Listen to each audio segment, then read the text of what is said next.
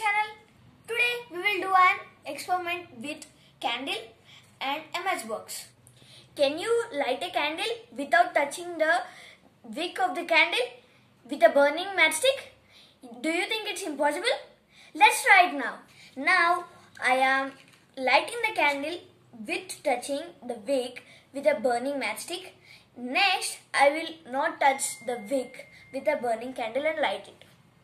Let's start our experiment. Now let's wait for a minute. One minute over. Now I will light the candle without touching the wick.